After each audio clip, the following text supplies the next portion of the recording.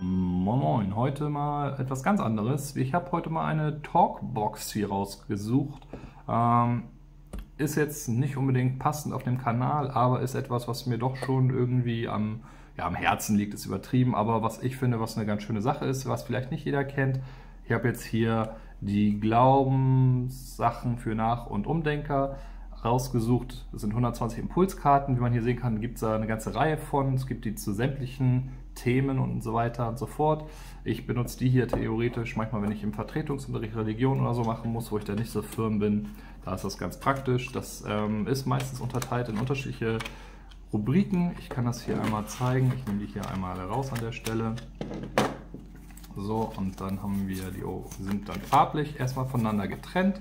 Das macht es erstmal einfach, das Ganze rauszusuchen und eben das entsprechende zu nutzen, was man möchte. Das machen wir einmal an der Stelle,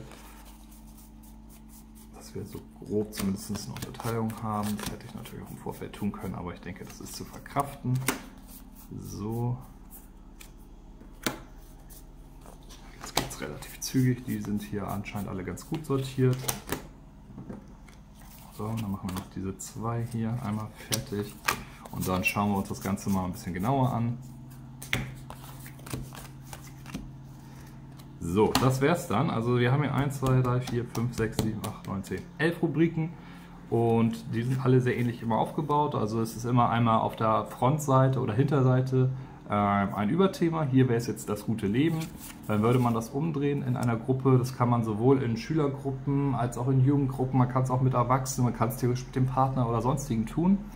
Und dann steht hier zum Beispiel in dem Fall ein, ein Anfang von einem Satz und dann wäre die Frage, den zu Ende zu bringen und dann kann man darüber so ein bisschen ins Gespräch kommen. Also das Wichtigste im Leben ist doch so.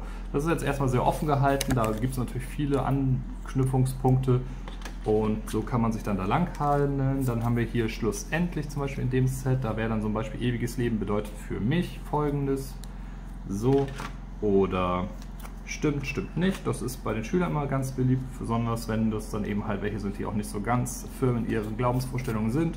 Und dann ist hier zum Beispiel die Kirche sorgt dafür, dass die zentralen Werte unserer Gesellschaft nicht in Vergessenheit geraten.